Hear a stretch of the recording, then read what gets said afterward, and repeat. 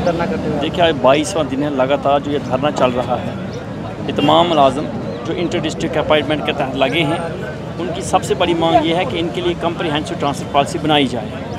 ताकि पाँच साल के बाद इन तमाम मुलाजमों की अपने अपने होम डिस्ट्रिक्ट में ट्रांसफ़र हो जाए। ये धरना तब तक जारी रहेगा जब तक सरकार इस बात का संज्ञान ना ले कि उनके लिए जो ट्रांसफ़र पॉलिसी है, वो बनाई जाए। ट्रांसफ़र एक मुलाजम का हक है और तब तक ये धरना जारी रहेगा जब तक सरकार इसके ऊपर कोई ठोस फैसला नहीं लेती है।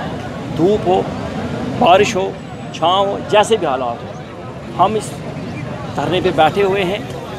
मैं प्रशासन को आपकी, आपके माध्यम से ये बता देना चाहता हूँ कि हमारा जो धरना है, ये जायज़ मांगों को लेकर है। ट्रांसफ़र पॉलिसी कोई ऐसी मांग नहीं है जो सरकार के लिए मुश्किल है। लेकिन हैरानगी की बात यह है कि अभी तक सरकार की तरफ़ से कोई ऐसा ठोस फैसला नहीं लिया है जिससे कि इन मुलाजमों के अंदर विश्वास बहाल हो सके।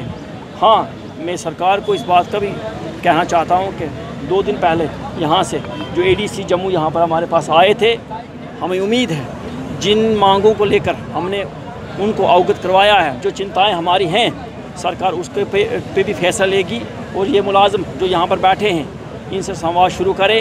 ट्रांसफ़र पॉलिसी हर मुलाजम का हक है। अगर एक मुलाजम के लिए इंटर डिस्ट्रिक्ट रिक्रूटमेंट पॉलिसी है इंटर डिस्ट्रिक्ट में रिक्रूटमेंट हो सकती है तो उसके लिए ट्रांसफ़र पॉलिसी देना कौन सी बड़ी बात है? अगर 2007 में इस पॉलिसी को शुरू किया गया था अगर कोई कमी उस वक्त रह गई है तो उस कमी को अभी दूर किया जा सकता है। अगर सरकार इतने बड़े बड़े फैसले ले सकती है, एक स्टेट को यूटी बना सकती है तो ट्रांसफ़र पॉलिसी के लिए इनको एक बड़ा दिल दिखाना पड़ेगा।